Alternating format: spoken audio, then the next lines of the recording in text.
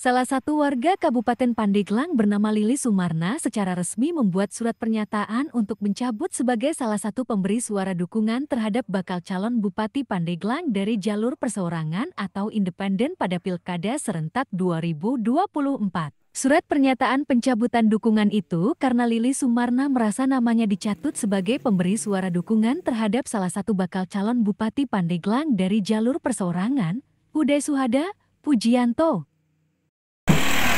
saya datang ke KPU uh, eh, karena saya uh, tercantum namanya di dalam verifikasi uh, sebagai pendukung salah satu calon bupati. Sedangkan saya berstatus pegawai negeri yang mana saya pun tidak pernah uh, mendaftar atau mencantumkan sebagai pendukung salah satu bakal calon bupati lewat jalur independen. Hmm. Demikian agar masyarakat yang namanya tercantum sedangkan tidak merasa uh, mendukung silakan ke KPU. Demikian.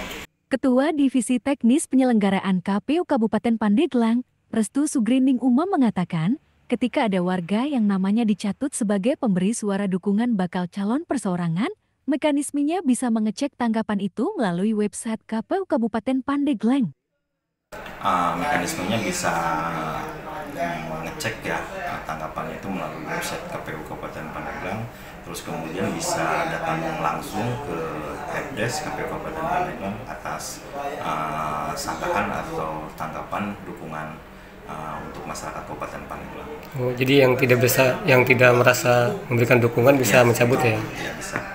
Melalui sanggahan itu. Ya. Hmm.